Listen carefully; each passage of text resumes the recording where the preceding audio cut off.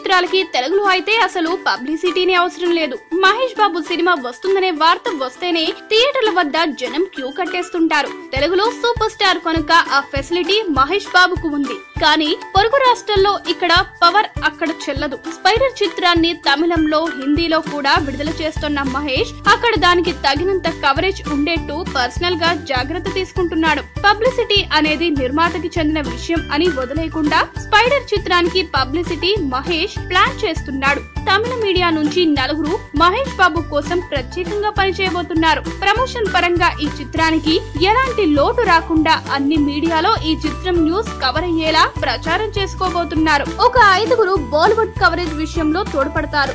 వీళ్ళకి ప్రమోషన్ల నిమిత్తం మహేష్ నుండి అందిన ప్యాకేజ్ వింటే దిమ్మ తిరిగే లెవెల్లో ఉందట. దీంతో ఈ చిత్రం పబ్లిసిటీ కోసం ఐదుగురు బ్లడ్ పెట్టడానికి సిద్ధంగా ఉన్నారట. ఈ వీడియో గనక మీకు నచ్చినట్టయితే లైక్ చేయండి షేర్ చేయండి సబ్స్క్రైబ్ చేసుకోండి.